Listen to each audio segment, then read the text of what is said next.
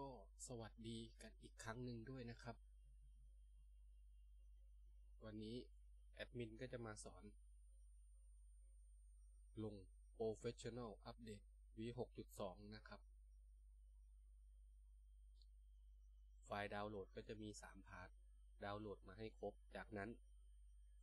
คลุมดำแล้วแตกไฟล์กด Active Clear เลยนะครับในนี้ก็จะมี password ก็ใส่เป็นชื่อช่องของแอดเองเลย PES 2017 EXTRA ตามนี้นะครับ ตามนี้นะ จากนั้นกดโอเคอะรอมันแตกไฟล์เสร็จแล้วก็จะได้โฟลเดอร์นี้มา ให้เราทำการเปิดโฟลเดอร์เข้าไป จากนั้นในโฟลเดอร์ก็จะมีประมาณนี้นะครับ ประมาณนี้คุมดำไว้ก่อน ย่อลงมา จากนั้นคลิกขวาที่ตัวเกม เปิดตำแหน่งที่ตั้งแฟ้ม โอเค พอเข้ามาที่หน้านี้ให้เราทำการลากมาวาง ลากมาวางเลยนะครับ วางลงไปเลย โอเค วางเลยนะครับ แอดไม่วางนะเพราะแอดวางไปแล้ว อะ เรียบร้อย เสร็จแล้วครับ หลังจากนั้น ให้เราเข้าเกม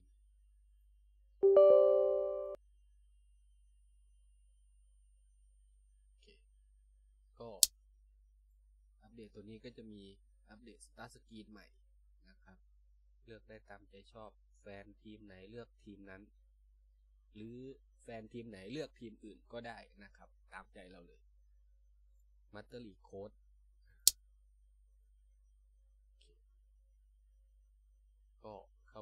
ประมาณนี้นะครับ graphic menu อ่าอัปเดตเพิ่ม จากนั้น ถ้าใครติดตามมาสักพักเนี่ยจะรู้ว่าแพดโปเนี่ย มันไม่ต้องลากอีดิตไปวางนะครับ ไม่ต้องลากไปวางให้วุ่นวาย แค่เรากดตัวนี้ edit ก็จะไปอยู่ในที่ที่มันสมควรจะอยู่ ก็คือในไฟล์โคโนมินั่นเอง ในโฟลเดอร์โคโนมินั่นเองนะโฟลเดอร์ save กดเลยนะครับ กดตัวนี้ จากนั้นมันจะมีคำว่าโอเคแล้วก็กดโอเคไปแอดไม่กดนะ เพราะว่าแอดกำลังทำอัปเดตเพิ่มเติมอยู่ จากนั้นขั้นตอนสุดท้าย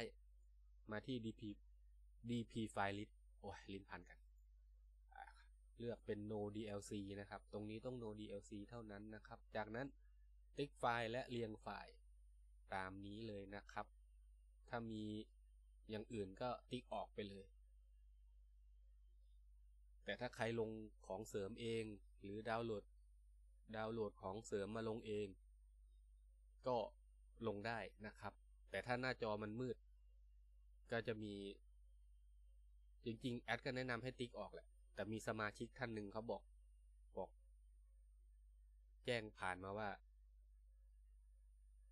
ให้ลงแททูเป็นตัวสุดท้าย ซึ่งมันก็ต้องเป็นอย่างนั้น เพราะว่าแททูตัวเนี้ย อ่าอย่างสมมุติ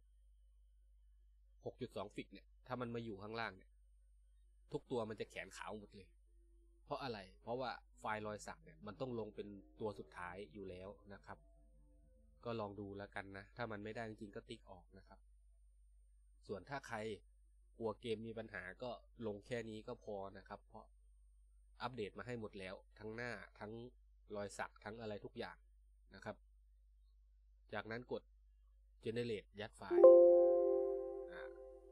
จากนั้นก็เข้าเกมนะครับ เข้าเกมเล่นได้เลย แล้วก็ไปดูว่าข้างในเนี่ยแอดอัปเดตอะไรบ้างนะครับคร่าวๆอะเดี๋ยวจะให้ดูก่อน คร่าวๆแอดอัปเดตอะไรบ้างนะ โอเค ก็จะเป็นอัปเดต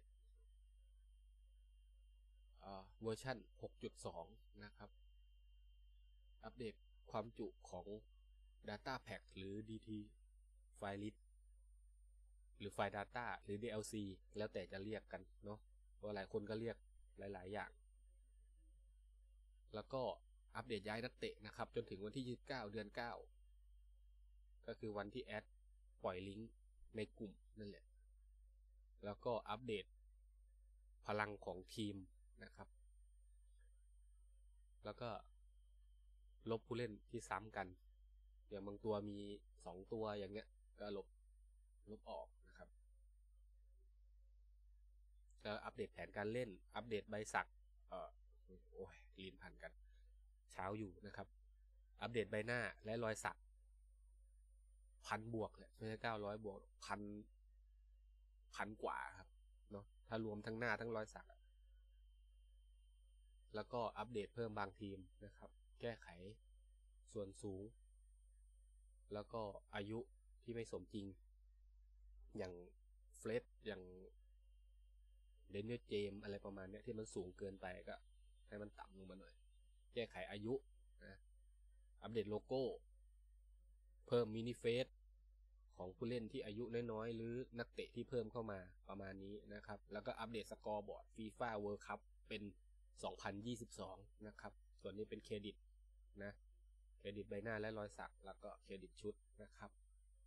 โอเค ถ้าใครฟังจนถึงตอนสุดท้ายเนี่ย แอดก็ต้องกราบขอบคุณ นะครับ ที่ติดตามรับชม ให้ดี กดไลค์กดแชร์ กด Subscribe ส่วนใครที่กดอยู่แล้ว ก็ต้องขอขอบคุณอีกครั้งนะครับ อย่าทิ้งกันไปไหนนะครับ อยู่ด้วยกันนานๆ เป็นกำลังใจให้กัน แอดจะได้มีกำลังใจในการทำคลิป ดีๆ หรือไม่ดีน่าจะดีเนาะสำหรับใครไม่ดีก็ขออภัยด้วยนะครับ โอเค แล้วพบกันใหม่คลิปหน้า สวัสดีครับ